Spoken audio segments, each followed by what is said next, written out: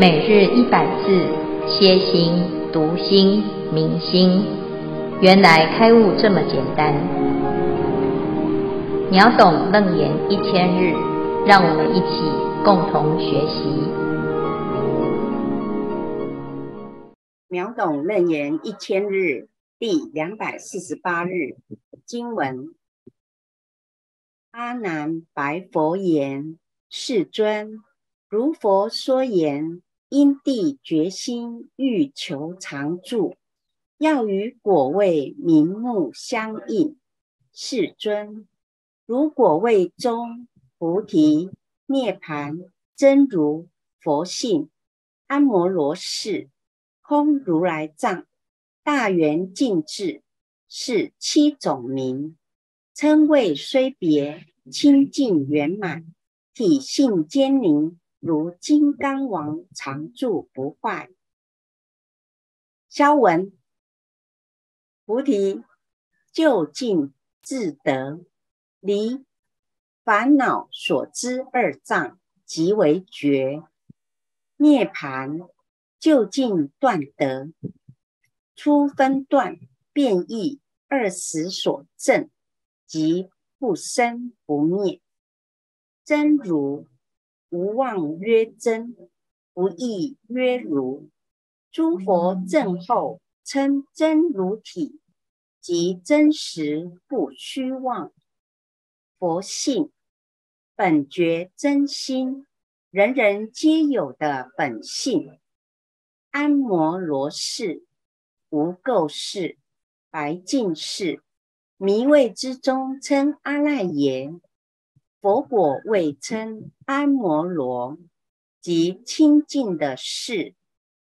空如来藏，诸佛因中反望归真，复本心源，究竟清净，唯一真心，更无他物。大圆净智，圆照万法而无分别，如圆镜照物。平等普照，不起分别，不称之。萧文至此，恭请建辉法师慈悲开示。阿弥陀佛。诸位全球云端共修的学员，大家好，今天是秒懂楞严一千日第二百四十八日。我们今天要来谈因跟果。啊，是要相应。那阿难就因此就产生了一个新的问题。好，这一段呢是修道分的二决定义里面，一根解结脱禅或圆通。那阿难呢就对于这个根呐，就产生一种疑惑。他说：“哎，这个根呢是六根。”在这里，佛陀讲到六根是眼、耳、鼻、舌、身、意，我们要找到烦恼之根。烦恼之根如果能够找到，就可以解脱烦恼。但是现在有一个新的疑问，这是阿难他对于这个根啊的疑惑，因为一般我们听到六根就是断灭之根。啊，眼、眼、耳、鼻、舌、身、意是断灭的。好，那我们再往下看哈，它的问题是什么呢？在前面呢，佛陀讲烦恼根本是谁做谁受，是眼、耳、鼻、舌、身、意这六根为贼眉。所以我们现在已经知道，哦，今天赶场哈，所以现在终于可以上线了哈。好，那这六为贼眉呢，是。现在前面呢，阿难也问过了哈，这个以因同果啊，啊是从从根解结这两个决定义哈，那他现在就觉得他有一点矛盾哈，为什么？因为阿难说，如佛说言，因地决心欲求常住，要与果位明目相应，那这个就是因跟果是要能够符合的，这是第一决定义哈。在第一决定义里面，佛陀讲过以因同果，啊，以因同果是什么呢？因为我们要修菩萨圣，要最后呢得到一个圆满的结果，就要审观因地发心与果地觉为同为异。好，这是第一决定义，大家已经还记得哈。那在这个前面呢，就讲到因跟果是要符合的。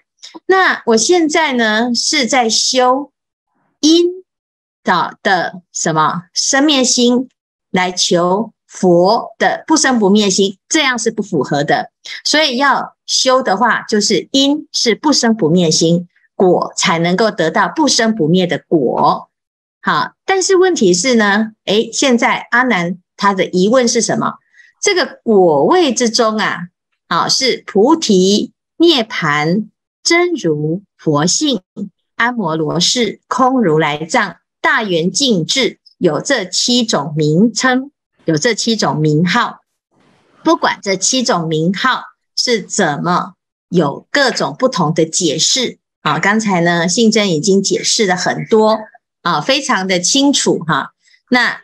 诶，听了很多，可是我们都不明白到底在讲什么，因为它很严很难啊。那有很多很抽象的道理，但是不管他怎么去解释这个真如佛性也好，菩提涅盘也好呢，最重要的是，他就是在讲这个圆满，叫清净圆满，在讲果位的清净圆满，体性坚宁，如金刚王常住不坏。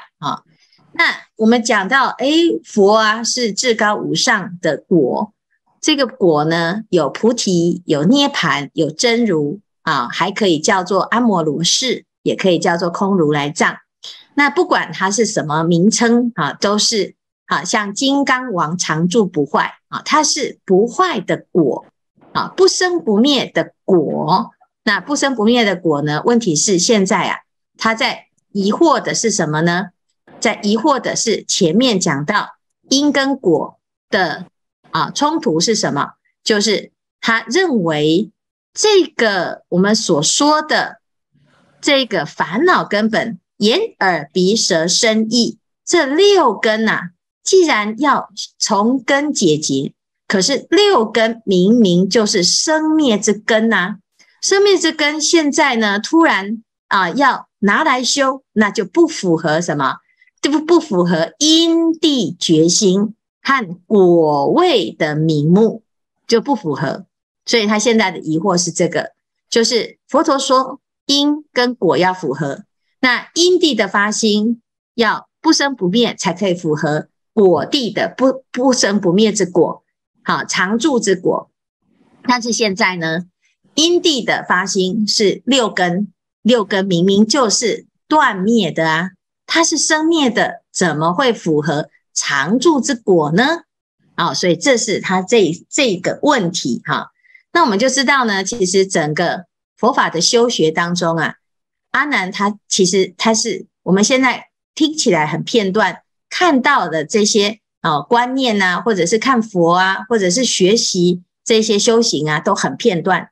这个片段当中呢，其实就会造成。我们在修学上啊，都几乎都是乱修一通，啊，就听到什么就哦很有道理就去修，那修一修呢，嗯，修不下去又换一个法门，那换一个法门呢，再修一修，嗯，又觉得很受用，可是又有瓶颈，然后又再换一个法门，所以为什么会修行不成功？常常就是因为你在一开始修行的时候，就啊，人家说什么好听的啊，人云亦云，哪个地方很厉害。好，那个法门很殊胜，你就开始就跟跟来跟去，你都不知道你到底修的是就近法还是修方便法。哈，所以阿难呢，他在一开始啊，就要把它厘清这个二决定义的第一决定义跟第二决定义有没有符合。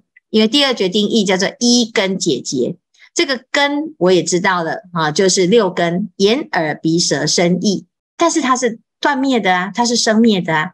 那这样子就不符合前面啊所说的因跟果啊，好，所以因果要相应呢，必须要怎样？两个决定义是不可以矛盾的，否则啊，我们就会诶，这个法门修一修就去去啊，这个会去冲突到我前面的修行，那推翻了前面的修行，那这样子到最后就你到底是要修哪一个，就会落入一种两难的选择哈。所以呢，这一段呢，其实是阿难呢很清楚整个修学的过程，他一定要贯通哈，否则呢，他会诶这个两个决定义都很有道理，但是呢，它到底是第一个对还是第二个对哈？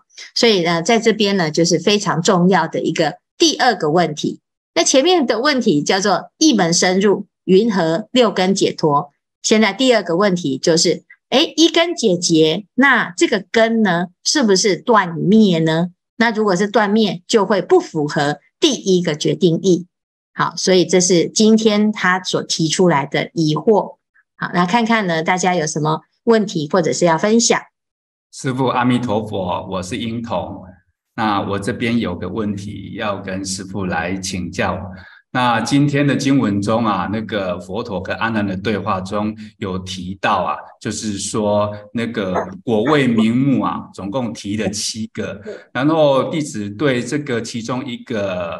呃，国位名目就是大圆净智哈，呃，有一些想法跟看法，还有一些疑问要跟师傅请教。那大圆净智的话，就这四个字的话，看到大，呃，在我的认知，好像在经文中看到大小，就好像在指心的意思哈。那如果有出现净的话，那就好像是啊，是能造所造，那就是。一个就是说，它能这是造见的意思。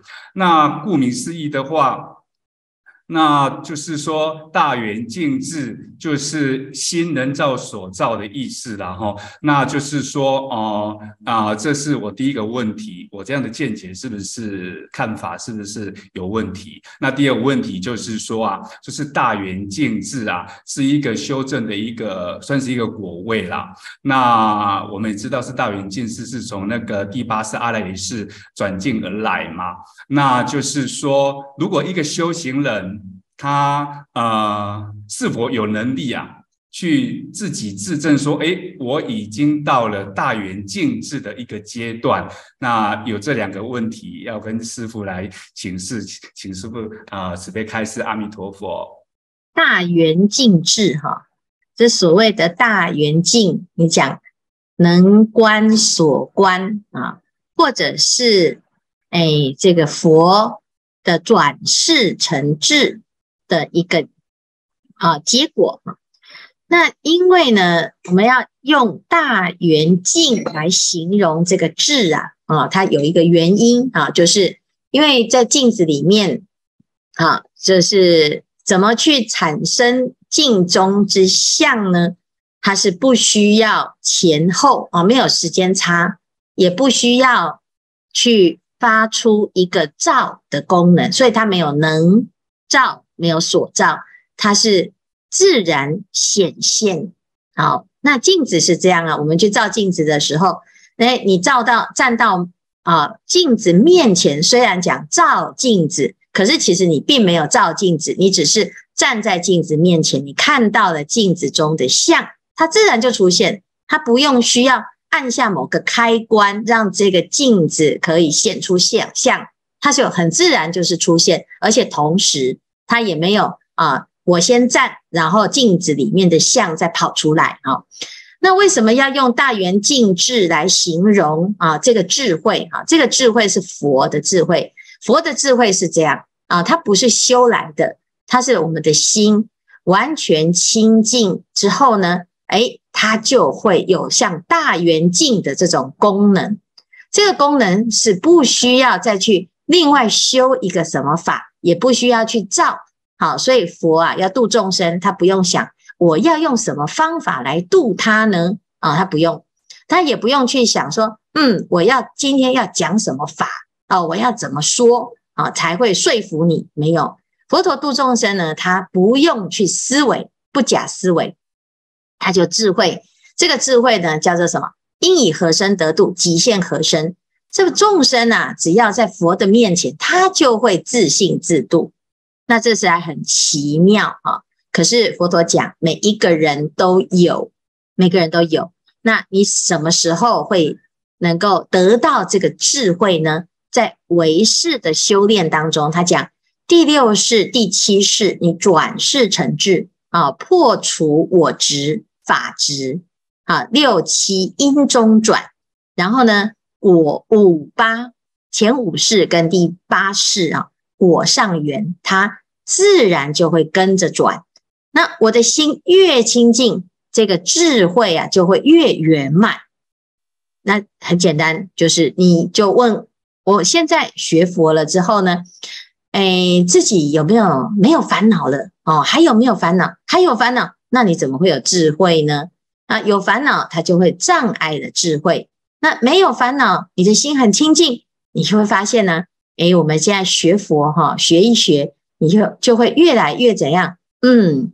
然后感觉有时候呢，这个智慧啊，很自然就发生，它不需要另外去上一个什么班，好，或者是学一个什么法，好，或者是拜一个什么师，嗨，它就会让你发现，嗯，对于很多世间的现象啊，你会自然有一种体会，好，那这个自然呢是怎么来？你本来就会，哦，只是我们以前呢被自己的烦恼障碍住，烦恼很重。啊，很着急，或者是很执着啊，那个念呢太执念，你就没有办法让这个烦恼啊去除，它就会障碍，让你看不清自己。那看不清自己了之后，我们都只有看到烦恼，就会一直把烦恼当真啊。所以呢，这个就像镜子宝镜蒙尘一样啊。那现在呢，透过了哎这个加工用行，或者是听经闻法，慢慢的认识了自己。啊，自自然呢，这个智慧啊，就会越来越现前。哈，那现到什么时候？现到圆满的时候，你一定是知道，佛是一切智人，佛的智慧就叫做大圆净智。哈，好，所以第一个问题呀，啊有没有能所？哈，它是没有能照，没有所照。啊，它是一体的。啊，这是万物是一体。啊，能跟所呢，其实是因为我们有相对啊，我们站在相对面，所以才会哎，佛是伟大的，我是卑微的哈。那这个凡夫跟众生呢，其实在大圆净智当中，情与无情同源种智啊，就是在讲在大圆镜智当中，有情无情是没有分别，是平等的，所以也没有能，也没有所。那第二个呢，你能不能知道呢？你一定知道啊啊，那。我们现在也知道，我们没有哦，还没有圆满，也知道，所以其实我们要有自知之明。但是呢，经过了不断的学习哈，然后看到佛菩萨的引导，还有前辈好先贤这个贤位菩萨的示范呢，哈，那我们就会对自己可以成佛这件事情会越来越有信心，好是这样子哈。好，谢谢英童的问题，感恩师父。阿弥陀佛，师傅好，你能听我的声音吗？可以。谢师傅好，我想请问几个问题。呃，在下面就是我是一个外国人，然后我在听师傅讲经说法的时候，就有很多障碍，还有很多不懂的地方。那啊，就像我一开始在听哦，在听在听华严经的时候，就是。整个过程送了三十分钟到一个小时，那我只能记得，还留下来在我心中就一句话：菩萨摩诃萨。而且我怎么想都想不通啊，又不懂，去问谁，人家都不懂。那我觉得这就好好，呃，很有意思。但是人家都不懂，那我就把它背下来，这样子而已。那第二个就是后来，虽然我的中文能力还是没有变好，但是我也勇敢的去参加很多课程，就是都是师傅的。呃，开的，然后后来也勇敢的去当主持人，真的是非常勇敢。然后，呃，然后就是我的心啊，对我我我的心就是觉得非常的感到非常的欢喜这样子。那我我想啊，我想讲的，我想在这里，我想分享一下，就是说我当主人的一些就是感受。就一开始啊。我，其实我也不敢当主持人了，觉得我的中文那么差，讲的又不流利，人家就嘲笑我这样子，发音的不标准。那后来我说，哎呀，算了啦，反正当看看。那后来法师们就是鼓励我，就当了。那一开始我有在播放《华严经》，就是只能放三四天而已。但是我真的非常感谢师傅，就是说我每每一次我都在听我觉得哇，好好听啊！但是听完就忘了。但是呢，我在播的时候真的感动啊，就是差了很远的师傅，就是我觉得哇，师傅好厉害哦！而且您诵经还有然后华严字母的时候，真的动到我的心，你知道吗？我真的直流满眼是泪呀！我觉得哇，这个团队好厉害。虽然我我也哼不下去而已，我只有哼哼哼哼，但是我觉得好有趣。那到那个时候，我就起了几个念头，就是说，嗯，我想飞到台湾，想拜访您，想拜你，您太厉害了。那嗯，当那个时候，我又起了念头，是说我真的很想认真去学佛。然后后来我还有个念头，我没有嗯敢跟人家人讲哦，我想说之后我要出家呀，出家人哪有能力呀？我要出家。所以一开始我是留长头发的，然后后来我就剪了短短的，觉得嗯，应该剃头也蛮好，还蛮适合我，很庄严，很庄严，很有趣。然后我真的是起一个念头，就是说我真的想回到台湾，就是想见见您，连真正的人，我想拜访您这样子，在你真的不好意思，给我拜你三拜，谢谢师傅。那我我我先分享到这里。那我想请问师傅，就是说我整个过程像这样子，嗯，虽然中文能力很差，但是我还是努力去学习这样子。然后，只是即使我获得的东西不多了。因为呢，中文能力有限，那我的请问师傅，就是说，像我这样的心是属于哪一种心？第二个，第二个就是说，还是在这些条条件之下，但是我想呃获得更多的呃利益，那我要如何改善？谢谢师傅，阿弥陀佛。很好，这个发菩提心啊，是真的不可思议哈。我们刚刚开始啊学佛。哎，刚刚开始我们会以为是因为我不懂中文哦，刚开始是以为是这样哦。可是哦，嗯，师傅弘法弘了这么久哈，哎，真正的障碍不是中文能力不好。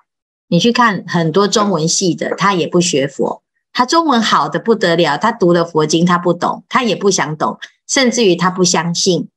好。那我们都是懂中文的，有几个人真的相信佛法呢？可是如果你是一个有善根的人，啊，我们刚刚开始啊，诶，学佛，有的人呢会去持那个大悲咒，你听到大悲咒，你有懂吗？根本就不懂那个意思吧？可是你会有一种感动，那你怎么会有这种感动呢？其实那个就是你的内心当中那个慈悲心。啊，本具的菩提心跟慈悲心，跟佛啊，在大悲咒大悲心嘛，啊，就是哎菩萨的心啊，跟你的心两个心呢就接通了，相应的，它是超越语言，超越文字，超越知识，超越身份，超越你在任何一个哎时空的隔碍，穿越时空。我们跟三千年前的佛陀是没有差别的，没有距离的。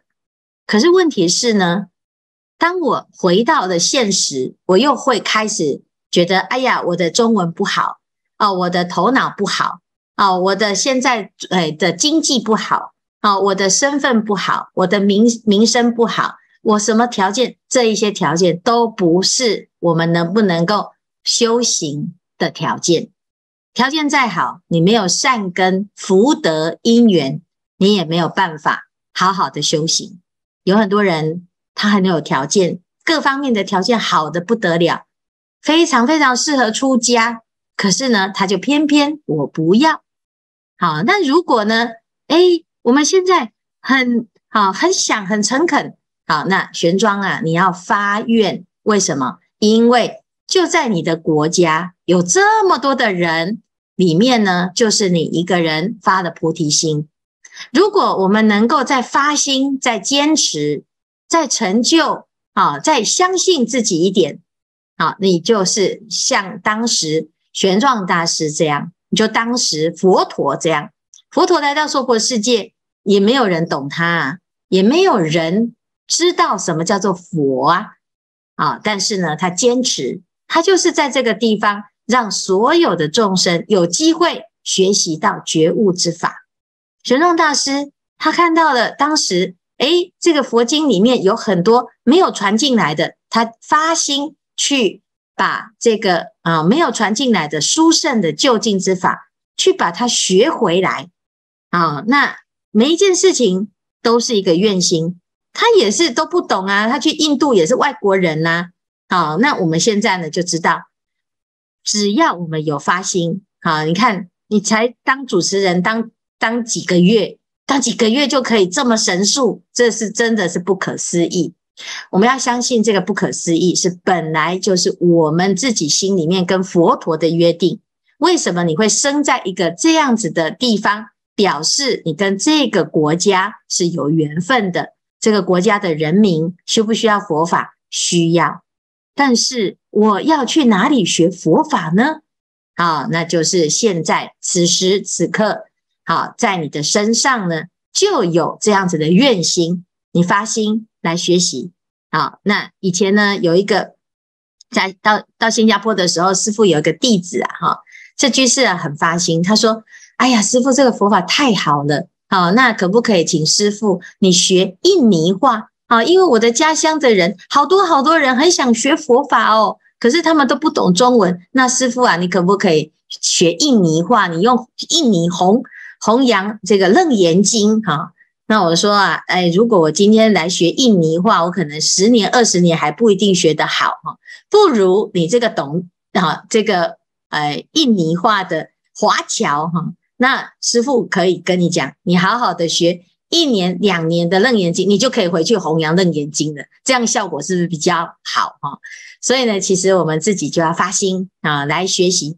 秒懂楞严一千日，一千日之后，各位大家都有愿心，都有责任，要让更多不懂佛法的人来了解佛法，没有那么困难。就像我们要刚开始要当主持人，每个人都心跳五百啊，那个信真他还写四百啊。那你看现在今天呢，他又主持又消文，你看哦，听起来就像大师讲那么多，都我们都听不懂。好，那你看这么厉害，那谁知道会有今天？我们每一个人呢都不会想象自己发心之后会是什么样子。那也希望大家呢，我们不要小看自己。好，那像今天这个很发心，好，很欢喜啊。那也许玄奘的眼中呢，觉得师傅很厉害，很厉害。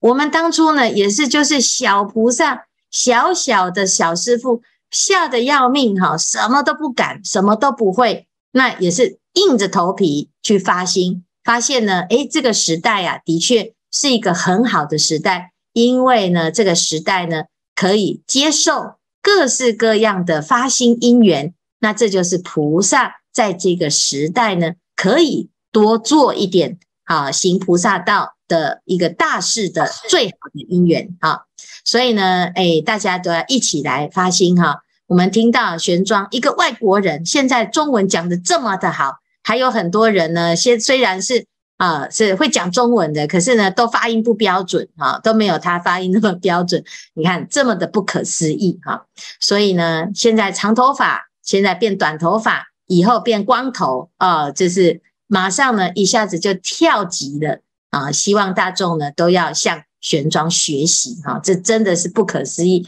好，我听了真的是很感动哈。我们辛苦到现在，终于有一个结果出来了。今天讲的这个果是真的是很好，很应景。菩提果、涅盘果、安摩罗氏果、空如来藏果、大圆净智果，谁没有呢？每个人都有哈。希望大众呢一起来发菩提心。好，谢谢，谢谢师傅慈悲开示，谢谢。